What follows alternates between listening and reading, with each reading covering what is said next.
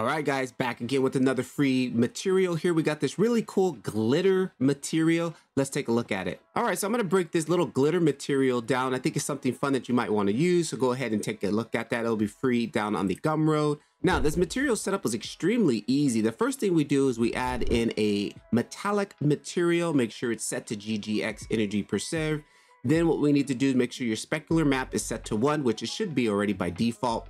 And then I add in a RGB color into the specular color. Again, if you go shift A, S, and then you just go RGB, here it is, RGB color node, select that, choose this magenta color here. Basically, if you guys want to see the values to be exact, here is the hex code on that FDBFFF.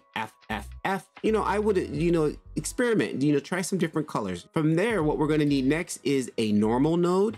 This normal node gets plugged into the film width. It's to connect into the film width. From there, we're also going to change our film IOR to one. We'll also come in here and make some changes on this node here. You're going to change this to shading and then the coordinate system to camera and make sure normalized results is checked. Then we're going to add in a color correction node.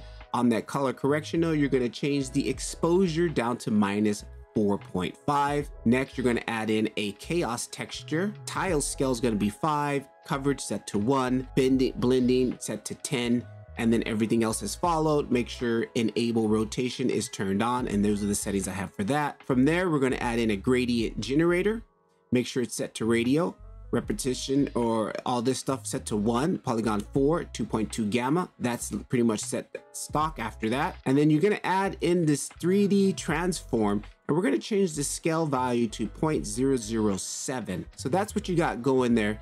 All right, guys, so that was just a quick little breakdown of this glitter material have fun with this. I did find this from another another channel. I forgot his name, the Cinema 4D guy. And again, reverse engineering all the stuff they do to bring to you guys. Hope you guys enjoy. I don't know the uses for glitter material, but it does look really cool. Catch you guys in the next one. Keep rendering. Peace.